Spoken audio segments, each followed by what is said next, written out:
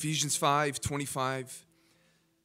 Husbands, love your wives as Christ loved the church and gave himself up for her, that he might sanctify her, having cleansed her by the washing of water with the word, so that he might present the church to himself in splendor, without spot or wrinkle or any such thing, that she might be holy and without blemish. In the same way, husbands should love their wives as their own bodies. He who loves his wife loves himself. For no one ever hated his own flesh, but nourishes and cherishes it, just as Christ does the church, because we are members of his body. Father, we come before you as we continue in this precious series on marriage. Lord, we simply ask that you would give us your heart and your mind concerning this. We especially pray for the men of this house, whether husbands or husbands to be, that you would grant us ears to hear what you have to say.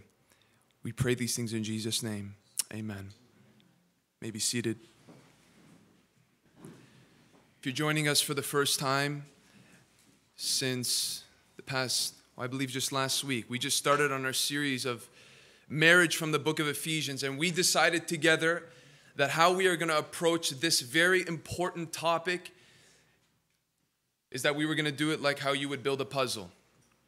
Instead of trying to tackle this issue and trying to get the general picture of marriage, we're going to take it piece by piece.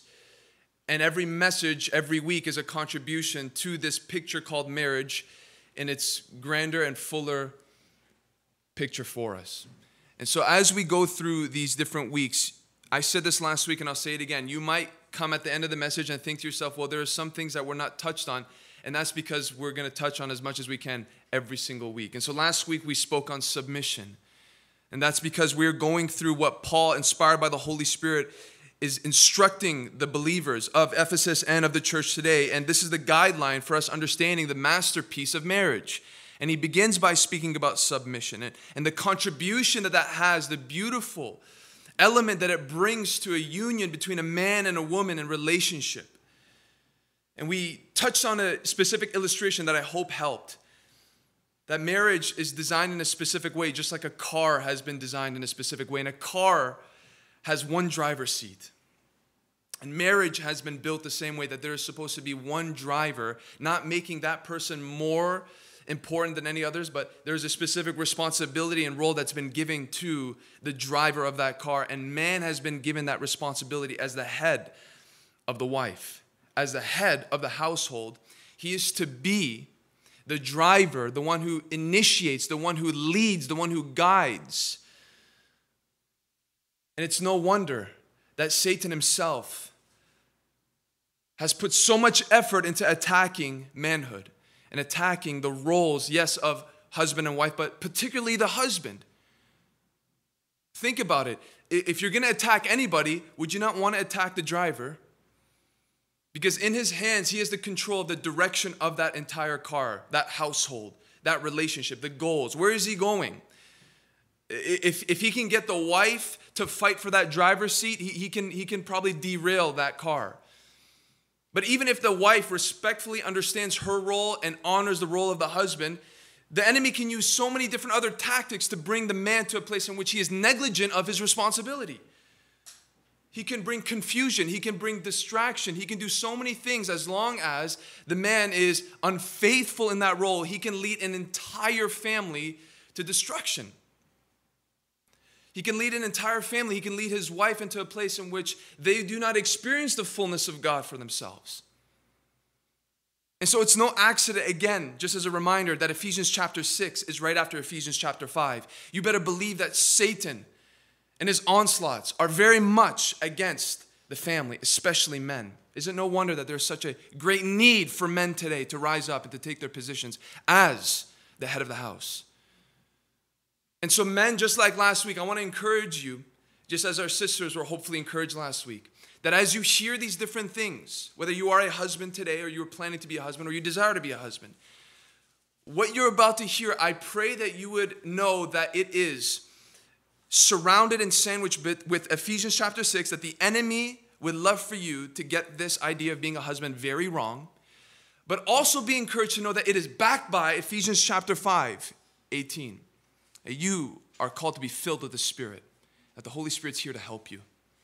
He's here to guide you, He's here to empower you, He's here to give you what you need in order to fulfill this grand task of loving your wife. And our prayer together as we go through this series is what? That this house would produce men and women who would honor the manual of marriage as prescribed in the scriptures. Why is that important? Why is family life important? Why, why, does Paul seem to go from this, this different commands and now he comes to the nucleus of the family? Why? Because the nucleus of the family is foundational for society. You destroy the family, you destroy society. You destroy family, you destroy the church to some degree. The church is made up of family. And so we need to understand that the foundation of any spiritual pursuit or standard must be met at the foundation of marriage. So, if anything can summarize the role of a husband, because we understand that if you can summarize the role of a woman, her, her central call as a wife, it is submit to your own husbands. Submit to your own husbands. And for the man, if we can also summarize what his call is as his foundational function as a husband, it is love your wives. Love your wives.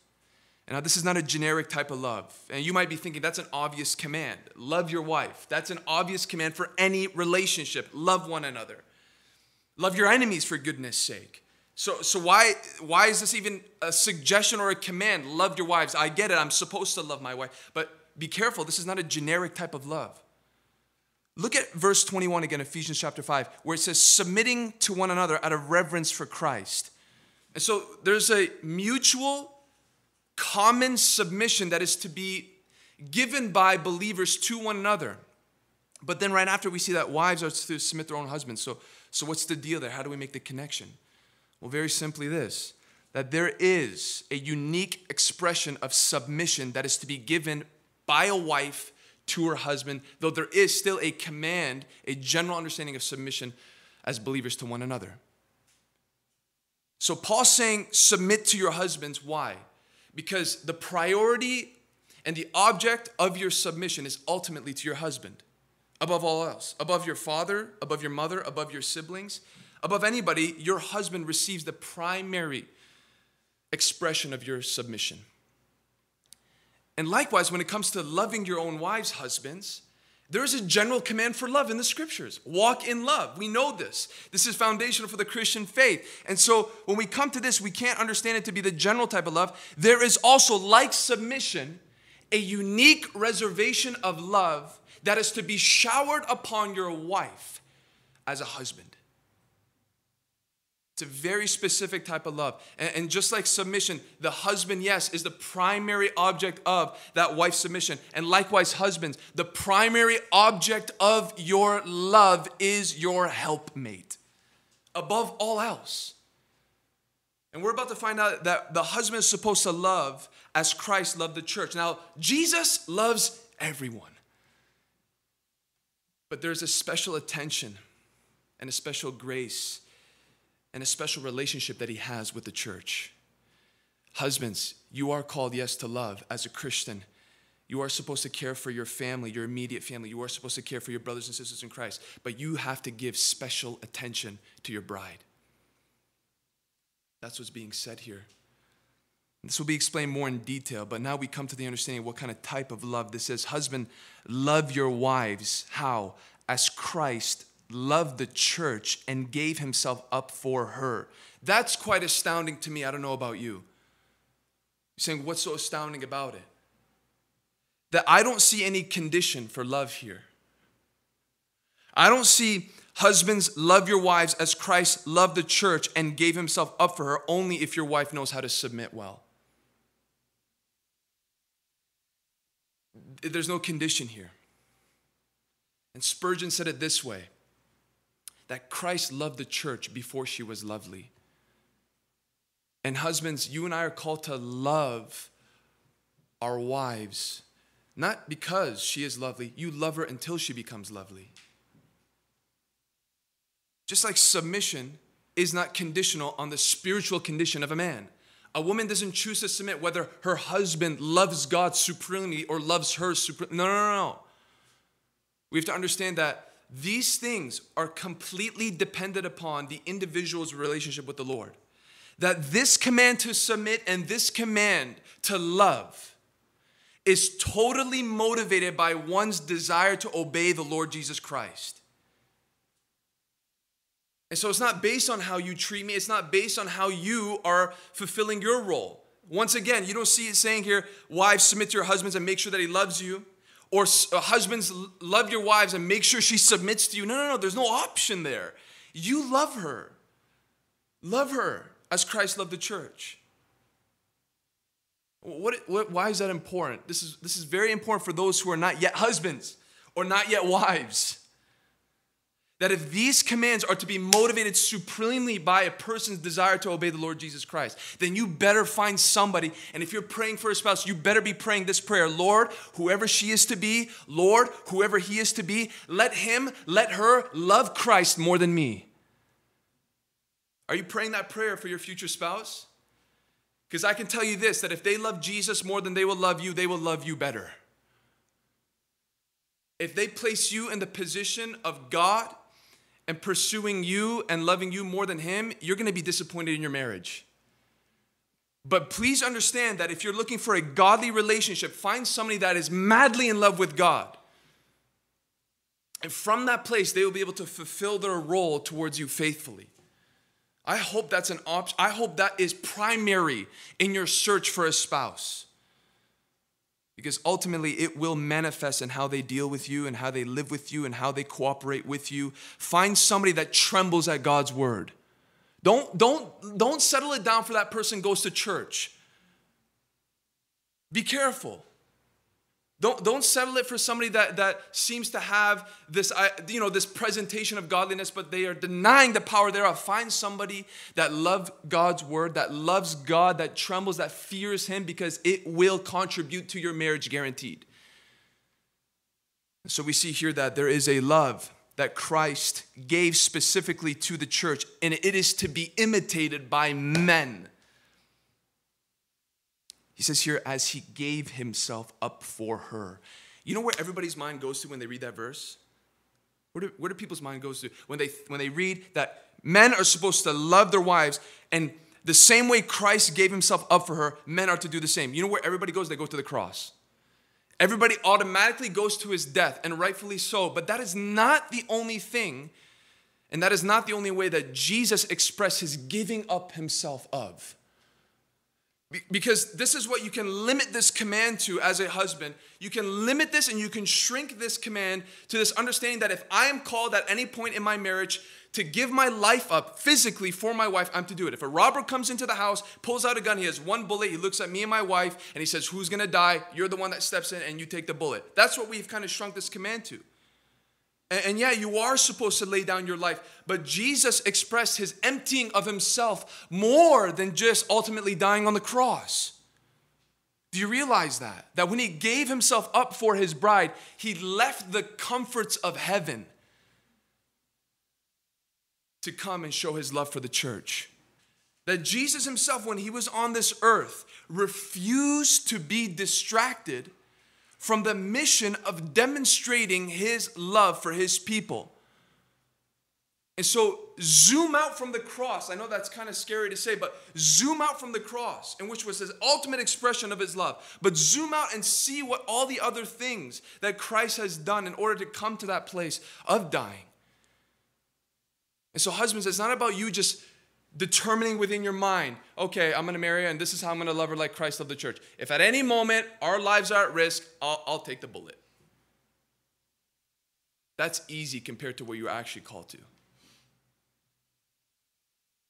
Jesus did and demonstrated his love in different ways. And based on the observation of Christ's love for his bride, the husband ought to frame his love in the following way. So I understand Christ gave himself up for her. And that's more than the cross, not limited to the cross, ultimately expressed through the cross, yes. But understanding the fact that he left the comforts of heaven, understanding the fact that he came to serve and not to be served, understanding that he was so focused on demonstrating his love as a mission. Husbands ought to love their wives in this following manner being willing. Pay attention, husbands.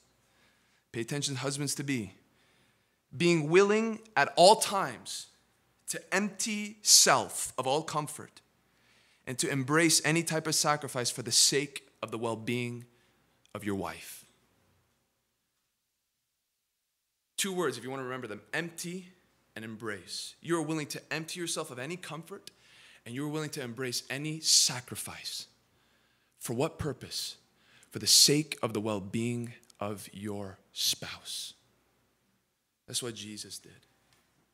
And you might have an objection because that does not really sound like a leader, does it? You might be hearing that and saying, that sounds a lot more like submission than it does love. Emptying myself, embracing sacrifice. That's not my idea of a leader. That's not my idea of what a head's supposed to be. You know, Jesus addressed that same issue because this is exactly what God has in mind for you as a leader. In Luke 22, the disciples, in verse 24, were talking amongst themselves about who is to be the greatest in the kingdom. And you know this. Jesus steps in and says, Listen, you're thinking like the Gentiles, you're thinking like the world. And he says in Luke 22 25, and he said to them, The kings of the Gentiles exercise lordship over them, and those in authority over them are called benefactors. But not so with you. Now, look at this in the context of marriage. Not so with you, men. Not so with you, husbands. Let the greatest among you become as the youngest, as the leader, as one who serves. Welcome to leadership in marriage that based on Jesus' mentality and Jesus' understanding of what leadership is, you as a husband, though you are the head and though you carry a specific type of authority, you are not called to be just a leader, you are called to be a servant leader. That makes all the difference. You have something now to work with. As a husband that desires to represent Christ, you do not have a dictatorship mentality in how you exercise your authority. This is way more about you making decisions in life. It's you making decisions with somebody in mind and the well being of who they are. And as you come to this place, you have to understand that my leadership has to be saturated with a desire to serve. And that servant leadership is clarified even more in the next verse in Ephesians 5:26. Look what it says about Jesus' love. It doesn't just stop at giving himself up for her. It says in verse 26 that he might sanctify her, having cleansed her by the washing of water with the word, so that he might present the church to himself in splendor, without spot or wrinkle or any such thing, that she might be holy and without blemish. Oh, this is glorious concerning not only, yes, Christ and his love for the church, but the husband and the extent of his love for his wife. That Jesus, when he gave himself up for her, ultimately showing that on the cross, that his death was not just to purchase a ticket for his church to get to heaven. If that's your understanding of salvation, you've limited salvation. Based on 26, because he gave himself up for what? That he might. There, there's something that's following the reason why he died. And yes, it's for your justification. And yes, it's for your salvation. But it's also for something else. That he might sanctify her. In other words, Jesus' death was the key to the door that would open up every heavenly resource for the church to be sanctified day by day into who she was called to be. That his death made provision for every spiritual blessing from high, from on high, to be bestowed upon his bride so that she could be transformed into who she was called to be. That's significant because this love now is something greater than just giving himself up. According to verse 26, it is also Jesus, listen, Jesus being intimately involved with his bride on a day to day basis by nurturing her and investing in her into holiness and wholeness. So he, he shows his love in what? Yes, dying on the cross, but he also shows his love by being so intimately involved with her on a day to day basis in which he nurtures her, he cherishes her. This is Jesus for the church. He invests in her, he is near to her. For what purpose? So that she can blossom into holiness and wholeness. Look at verse 29 of this very same chapter. For no one ever hated his own flesh, but nourishes and cherishes it just as Christ does the church. So he didn't die on the cross and then separate himself. He says, okay, good luck, figure it out. But the death on the cross was the means by which now he could come into and come to a place in which he can relate to his bride and invest in her in a way that he never could before. He sanctifies, he cleanses, he gives attention, he supplies. And you know what sanctification looks like according to the Word of God? You know what God has in mind as his mission to sanctify the church? 1 Thessalonians 5:23.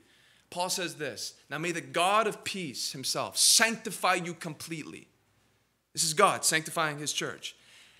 And may your whole spirit and soul and body, spirit, soul, and body be kept blameless at the coming of our Lord Jesus Christ. You know, when God and in Christ giving his attention to his church, you know what he focuses on? Your spirit and your soul and even your body. Your body is important to God. So he invests in your spirit. He invests in your soul. He invests in your body, which I think is amazing. Because if a husband is supposed to imitate his wife, his, his Christ and his relationship with his bride, then he himself, as a servant leader who dies to self, must also lead in such a way. In what way? That every decision that the husband makes, that everything that he does in his leadership role, you know what he has in mind? The well being of the spirit, soul, and body of his wife. If Jesus gives that attention to his bride, brothers, you must also give your attention, your nourishment, and your contribution to the very same elements that Jesus does. And this is important because there are a lot of men that are great at contributing to the physical aspects of the relationship with their wife, but neglect the spiritual. They neglect the soul. Some are really good at addressing the soul, but are not very good at addressing the body or the spirit. And what we want to do is be like Jesus. We want to be able to give ourselves to all those things that make up who a person is. And husbands, when you love your wives, guess what? You're going to focus on her spirit, you're going to focus on her soul, you're going to give attention to her body.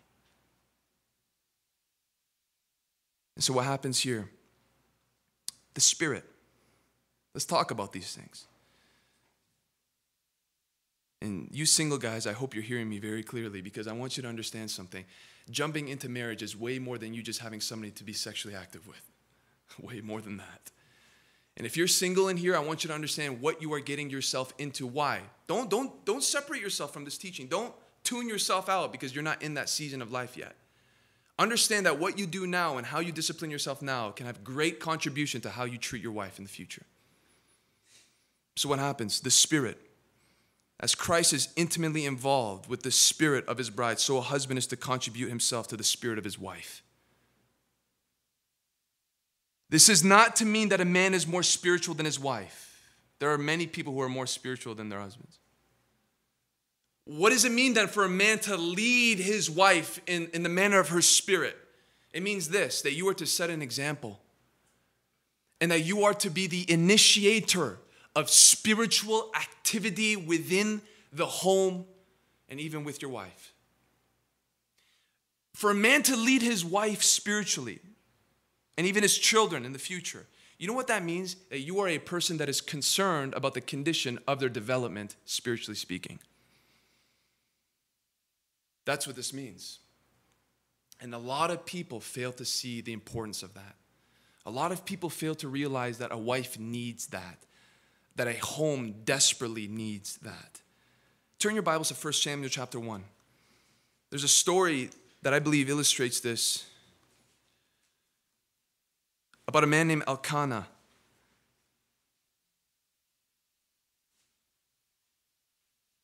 Let's begin in verse 3, 1 Samuel chapter 1.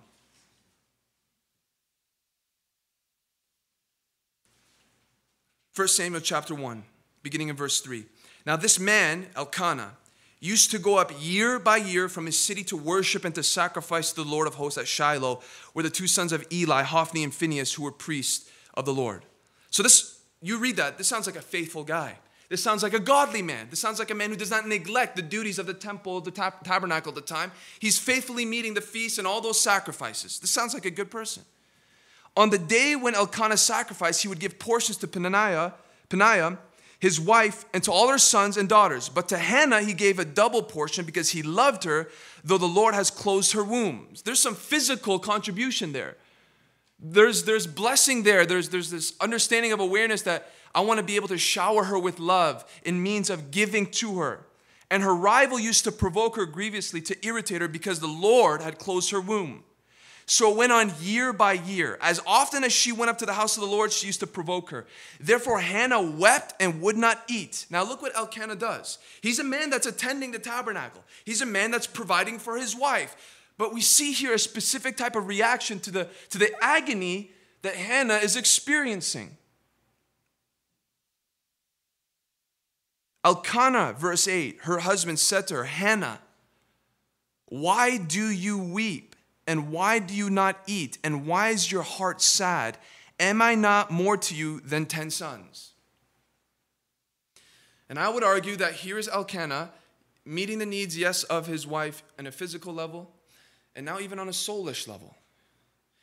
He's attempting, let's just say he's attempting to counsel his wife, okay? But there's something missing with Elkanah, I believe, significantly. Because after this, it says in verse 9 and verse 10, she was deeply distressed and prayed to the Lord and wept bitterly. Hannah rose and she went to the place of worship and she found herself praying and seeking God in this matter.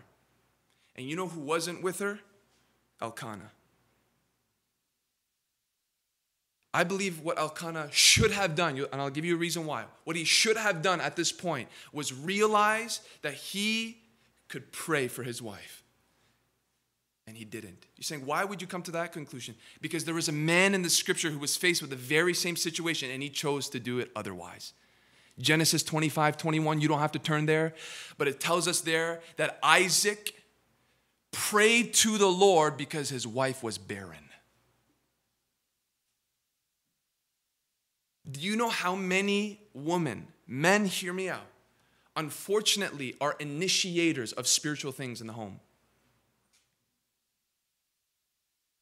That they have to, and there are things that in your life as a wife and your, your life as a husband in which you have to meet with God on a personal level. 1 Corinthians 7 is clear on that, that you should separate yourselves for time of prayer and then come back quickly lest Satan tempts you.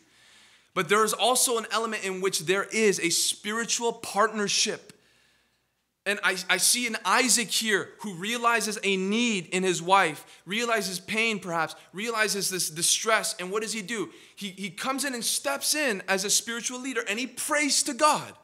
And whether he prayed with her or prayed for her, I'm sure he did both, but he prayed to the Lord. And Elkanah here does not do that. And we see Hannah, Hannah here initiating that and practicing that on her own. Men, you are called to be the spiritual initiators of your home, to recognize, be sensitive, be alert, and to create that atmosphere in your relationship and amongst your children in the future. If there's any verse that I believe speaks so strongly of this, it's Deuteronomy 6, 4, and 6. What does it say? Hear, O Israel, the Lord our God, the Lord is one. You, now imagine this is speaking to husbands now. Let's let's contextualize it to husbands. You Husbands, shall love the Lord your God with all your heart, and with all your soul, and with all your might. And these things that I command you today shall be on your heart. You shall teach them diligently to your children, and shall talk of them when you sit in your house, and when you walk by the way, and when you lie down, and when you rise. Do you see do you see the instruction there? That you, as a man, should be the one that knows how to sit at the dinner table and talk about what God has shown you in your devotional life. You, as a man, should be able to converse with your wife about spiritual matters, not forcefully. You know, you, you want to know how you can best fulfill this aspect as a leader, as a spiritual leader? Just be spiritual. You cultivate your own relationship with God, and everything else will flow from that. You don't have to force it. You don't have to try to muster it up. It will just be an overflow of what you already have in your walk with God. But I love the instruction that God gives. Listen, as you're walking in the house, as you're walking by the way, as you're sitting down, as you're lying down, when you put your kids to bed, you know what you're gonna do. You're gonna pray with them. At the end of the night, when you come with your wife, you know what you're gonna do? You're gonna pray with her. You're gonna wake up, you're gonna pray with her. You're gonna open up that Bible from time to time. This is what man is called to do.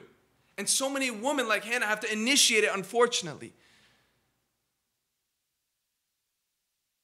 And so I want you to understand that this is a great responsibility, yes, but it can be so easily attained to when you just understand that you have a walk with God that needs to be totally cared for before you can care for anybody else. And I remember hearing and just I have a friend who's much older and he has a family, and his, actually his kids are our age, my age at least. And I remember when I first met him, we were getting to know each other, and he had said something. And honestly, this is a sad thing, but for me, I don't know about you, but for me, it was a breath of fresh air. Because when we were talking, we were talking about his walk with the Lord and everything else, and we got to talking to his family, and he had said, yeah, for years now, we have family devotions. This night, we talk about this. We're actually going through this book right now. And for the longest time, the beginning of the week, I would give a verse for the family on, a, on, a, on the chat that we have, and we try to memorize that verse for the week.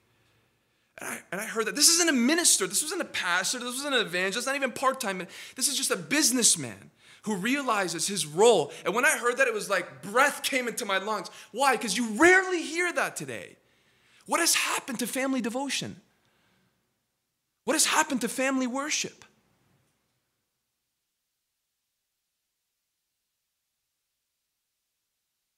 This is something that we have to understand as men that there's a role to fulfill. I remember speaking to another young man who was my age and talking about his walk with the Lord. And he loved God, and he, he's actually in chemistry. He's not even in ministry or anything at all. He has a desire for it. But I had asked him about his upbringing because whenever I speak to somebody who's a PK, a pastor's kid or missionary kid, I, I always want to know what their family life was like, especially if somebody is walking with the Lord later on in life. And when I was talking to him, he had quickly gone to his parents and how they invested in him. And you know what he said? Now, this is different for every person. His, his, his father was a pastor, but he had said, I don't remember a dinner, one dinner. Number one, dinner was something that you could never miss. Family time, conversing was something that nobody could miss. We had to be there for dinner. And every time we finished dinner, so naturally would my father open up the scriptures and we would just talk maybe for 15 minutes about the Word of God. Every single time. This is a person that's speaking of the influence of why he is the way he is. His father made an investment in his walk not in a legalistic way, not in an overwhelming way, simply because of the overflow of his love for God. It makes it so much more attractive, men. When you choose to simply take it upon yourself to love God with all your heart and let that seep out of what you do in your walk with your family. Don't force it, just love Him. And what a tremendous responsibility for a husband. Why? Because the closest thing that your wife and the closest thing that your future children will see a reflection of Jesus is you. That the image that Christ wants to display through a marriage is Christ and the church. And your kids are going to watch that. They're going to evaluate that. Not just the spirit, but the soul. And what do we mean by the soul? If Christ sanctifies the spirit, but he gives attention to the soul and to the body. What does it mean, soul? And this, this message is not to make a distinctions between the different elements, a tripart being of man, spirit, soul, and body. But there is one ingredient that makes up the soul, and it is the emotions. That's at least one. The emotional aspect of a person is a, is a facet of what a soul is. And the husband, as a servant leader, must also be aware of the condition of the soul of his wife. And this is where maybe a lot of men fall short. Why should a man give attention to the condition of the soul of his wife? Because she's wired differently. I don't know if you knew that. That men and women are wired differently, even emotionally. And wh- what do, we, what, do, what do we mean by that? That women, by nature, are more sensitive, are more tender, are more empathetic, are more compassionate than men are. Now, is that a weakness thing? Because you, you say that to some ladies and they, so you're saying I'm weak? Oh, no, no. It's God's wisdom and His design. Because I believe the emotional nature of a woman is God's way of complementing how she is to fulfill her call as a mother. This is just one reason. Can you imagine if a woman was not tenderhearted and compassionate trying to raise babies? Can you imagine if she wasn't soft to the cry of her child? Can you imagine? But because of the compassionate, tenderhearted, and empathetic nature of woman being built in her, she can appropriately cater to the needs of her family, especially her children. That's just one reason why that genetic makeup is there. That's one reason why God has built woman to be in such a way. But here's the reality because that's a part of her nature, because she is wired in such a manner, it manifests in every aspect of her life, in every relationship, including her relationship with her husband. And so she can't just turn it on and off. No, it's there. It's a part of who she is. So what does that mean for the man? It means this 1 Peter 3 7. Likewise, husbands, live with your wives. That's an obvious one. Live with your wives. I hope you live with your wife. Live with your wives, how? In an understanding way. Mm-mm-mm. In an understanding way. And part of you understanding your wife is understanding her nature is understanding her emotional nature and being able to live with her in a way in which you are engaged with her emotions. This is where men really find some trouble. Because you know how men are wired? Men are providers. Well, at least most of them are. And you should be, and we're going to get into that. Men are providers, and and maybe some of you can testify this about your own upbringing that the way in which you know your father showed his love was by provision.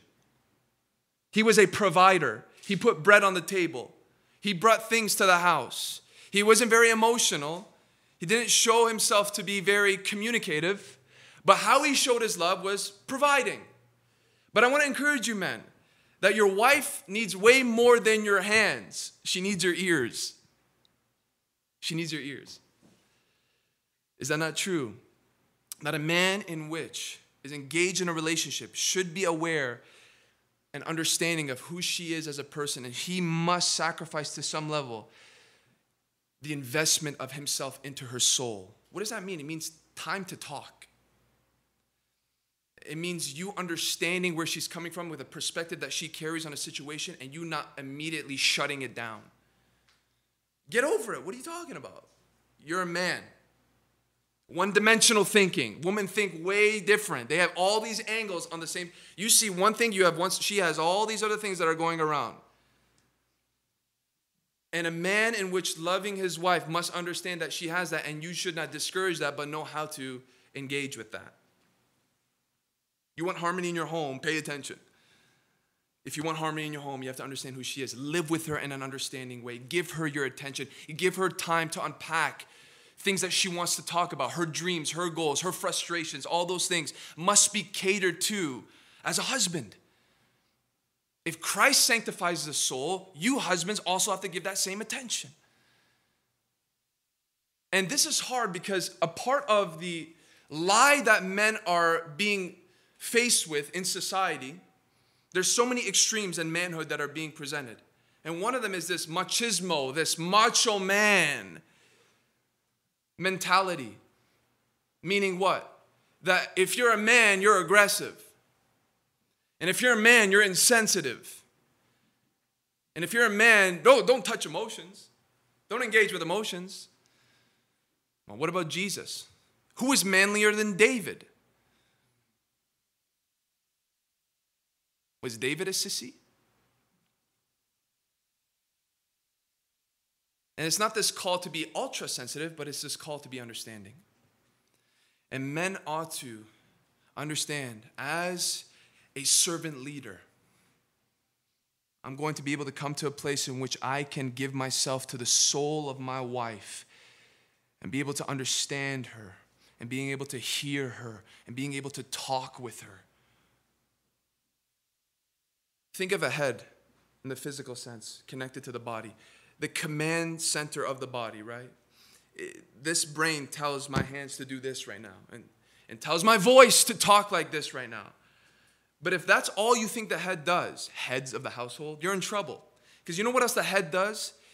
The head recognizes when the part of the body is hurt. And it begins to now work in order for that hurt or that pain to be cared for and to be given attention to. And if you're the head of the house, you can do the same. That it's not just you being this brute, man cave type of fellow that just does his part in provision but neglects his wife and the soul. Not just the soul, but the body. So you look at 1 Peter 3 and it continues. Likewise, husbands, verse 7, live with your wives in an understanding way, showing honor to the woman as the weaker vessel, since they are heirs with you of the grace of life, so that your prayers may not be hindered. So he goes, Listen, yes, live with her in an understanding way, but there's another aspect of this. You are to honor her, honor her as the weaker vessel. And this is mainly speaking physical. And so, what does it say? It includes physical protection and physical provision for that helpmate. It includes you being aware that you are wired as a man to carry things that are heavier, to exert more energy. This is just true. And even if there is the odd case where a, woman in a relationship might be physically stronger than a man, guess what? The role is still given to the man. You sacrifice. And don't limit this just like many would limit Ephesians 5:25 where you just get a job and you work hard. That's part of it. That is part of it. But remember, this is a servant leadership understanding. And so here are some scenarios. You worked all day, brother. You worked all day. You're exhausted. And you come home and you got one fresh baby in that house and your wife is sick. She can't even get out of bed. Guess who's stepping up to do dishes? Guess who's going to attempt to cook dinner? Guess who's going to step in and say, I'm going to serve? You think of another situation of even a man who might be in a place in which he comes alongside his wife, even as a mother. That's her main role, that, that's her main call in life. But because she is a weaker vessel, you would assist her you don't neglect her. There will be times where you will come home and instead of plopping yourself on the couch, you will come alongside of her and pour into her. Not only that, God forbid, if there's any time in which you're laying in bed with your wife and you hear noises in the first floor, guess what you're not doing as a man? You're not nudging her and saying, Can you go check who that is?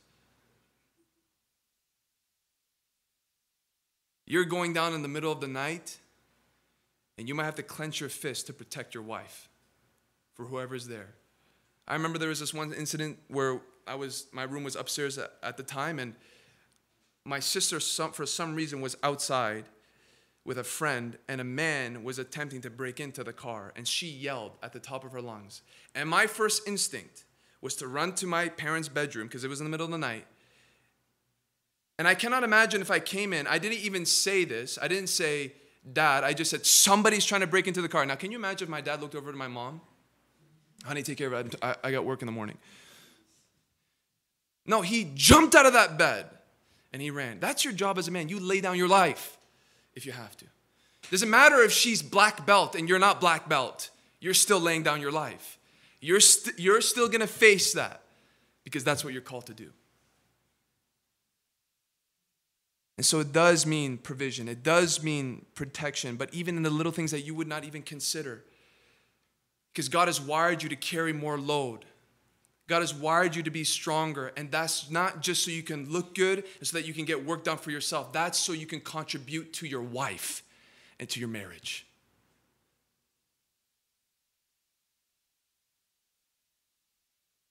And if a husband treats his wife in a way that lacks understanding of her nature, and if a husband with contempt or with laziness or with neglect or even worse, with harshness, fails to serve her because she is a weaker vessel, there is something that will be at cost, and that is your prayer life. This is so fantastic. You know why? Because so many people attempt to pursue spirituality at the neglect of their family life. And God is saying right here that even if you have a prayer life, it means nothing if you don't know how to treat your wife right. So important is this to God Almighty that your relationship with your wife has direct consequences to how you experience God. That's why we believe that even if in your ministry, your wife is more important than your ministry. Because even if you pursue ministry, it's missing an element, and that's God answering your prayers if you're not treating your wife right. You want to know a spiritual man? See how he treats his wife. See how he treats his wife. I could care less how you can exegete a text. Let me come home to your house and see how you talk to your wife. I don't care how many mission trips you do. I don't care how many conferences you speak at. Let me come home and sit at your dinner table, and when things are not going right, let me just hear how you speak to your wife. This is so important for us to understand. Men, you want us to be spiritual. Do you want to be a man of God? You better treat her and cherish her like Christ does the church.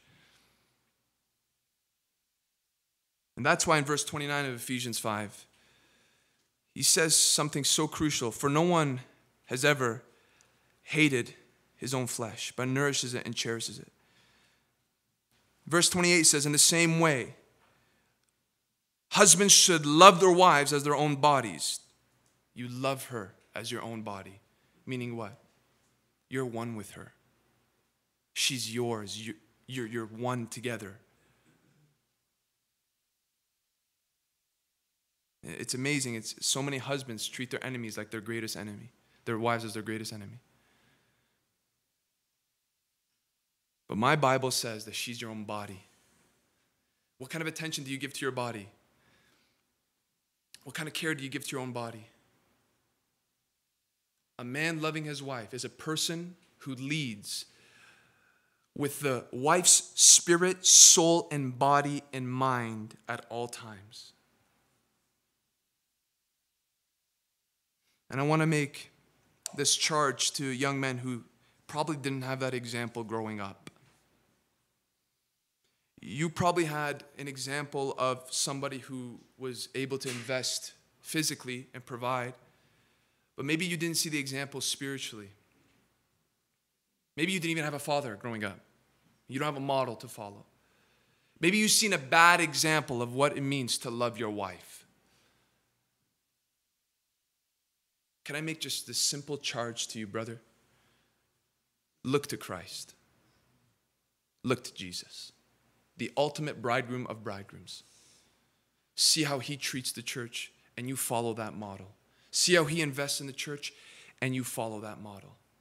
Young ladies, do you want to know how a man will love you? You want to know how a person could be considered a future husband? Look at his spiritual walk. Look how he serves in the church. Look at the investment that he makes in his own walk. If he doesn't make investment in his own walk, what makes you think he's going to make any investment in your walk?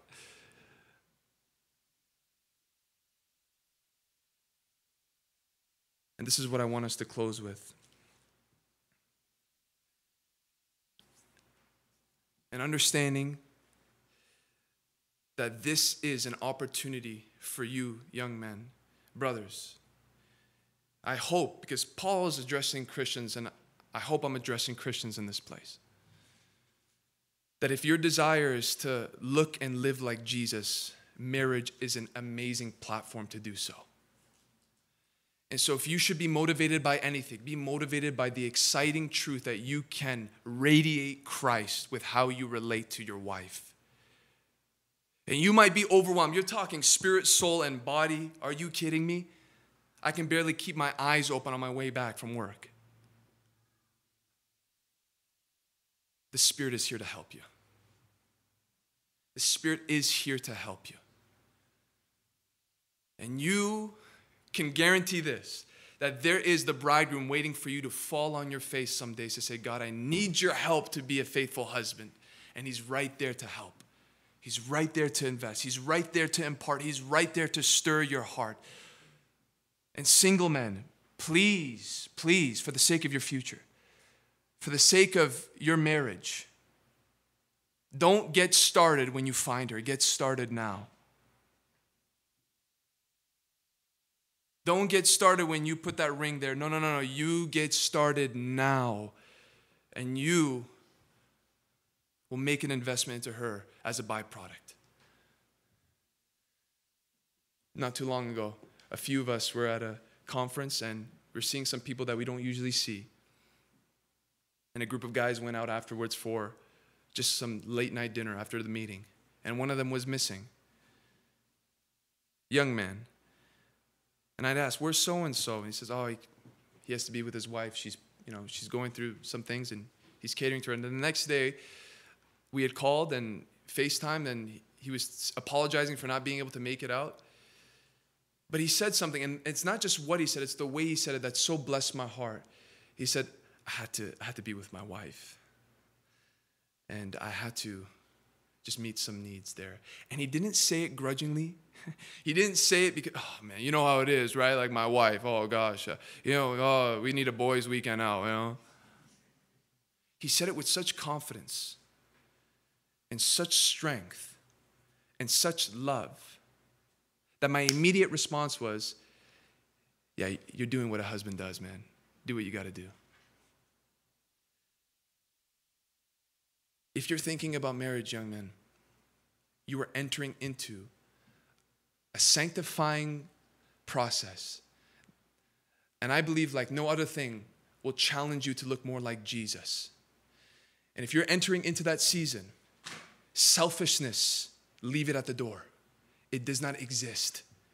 But you have now made it your ambition in life to love your wife above all things. Guess what? You love her more than your family, you love her more than your job, you love her more than your ministry, you love her more than your anything. She is taking that preeminent position. And she can expect from you to draw out your love, to draw out your attention, to draw out your affection, to draw out your care. Are you ready for that? Are you ready for that?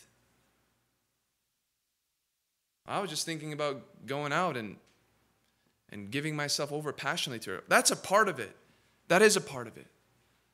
But do not forget that as you enter into that place and you say your I do's, you have now come into a place in which she has your service. She has your attention, and you now, whether you want to or not, took the driver's seat of that car. How are you going to lead? And I pray that this place would be a place in which brothers can encourage one another. I pray that this would be a place in which I love this season of life for so many. You can start fresh now. You can build from the ground up. You don't have to deconstruct now. You can start now. Now, this would be a place that would put great, great emphasis on godly men and godly living. Let's pray. We did this last week and we can do it again this week. Last week we had brothers in this very moment praying for their sisters, saying, Lord, would you touch my sister's heart? Would you show her the beauty of submission? Would you grant her the grace to do that? Sisters, would you do that for your brothers? And maybe you're here with your husband, maybe you're not here with your husband. But if you can just pray for your husband, pray for your fiance, say, Lord, give him the strength, give him the motivation. Father, we come before you trusting in your word that you would never command something that you don't give us the power to fulfill. And we pray for every man in this place, whether single, engaged, or married, that Lord, you would stir hearts to understand, yes, the weight of responsibility, but also the joy in being able to take this on in order to put on Christ. And we pray, Lord, for every marriage in this place. That no matter what our upbringings might be, no matter what we're used to, no matter what we're faced with, that just like a man is ought to, to live, that there would be initiators, Lord, in marriages. No matter what atmosphere they grew up with, no matter what kind of maybe even, God forbid, abuse they might have gone through. Lord, that you would give the men in here the strength to take it upon themselves to give himself up for their wives.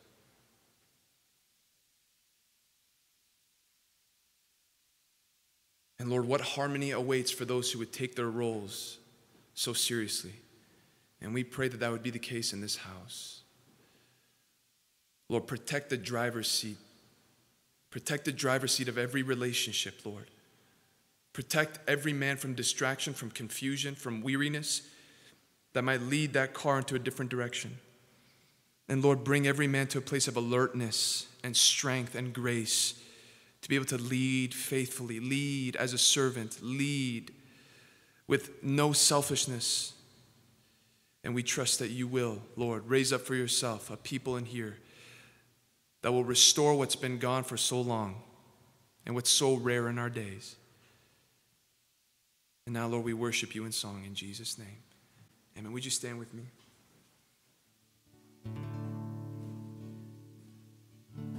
If there's anything that you can take out of this, take this. Take this. He's a good bridegroom. He's a good bridegroom. And what an amazing thing in which we can serve a God who can exemplify for us what love looks like. We don't serve a God who's a tyrant. We don't serve a God in which, listen, did you come to Christ because he whipped you into submission? Did you come to Christ into uh, did you come to Christ because of what? Even if you came to Christ in, in a revelation of the fear of God, you still came to Christ through kindness. Because even in the revelation of his wrath to come and a revelation of his judgment that is to take place, the reason why you have come to him is because his kindness leads you to repentance. It ultimately brings you to that place. And husbands, if you want to see your wives submit well, best way to do it is to love them well. But let's worship the one who, who sanctifies us, who invests in us, and who cares for us.